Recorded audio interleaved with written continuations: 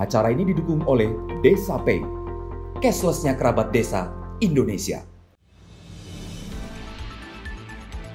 Dalam rangka menjalankan program vaksinasi massal, pemerintah Desa Tarajusari, Kecamatan Banjara, Kabupaten Bandung, berikan vaksinasi kepada 300 orang warga bertempat di kantor Desa Tarajusari.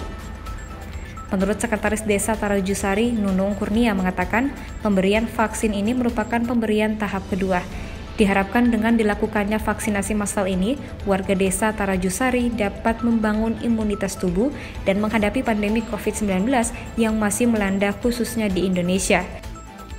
Tim Liputan TV Desa melaporkan.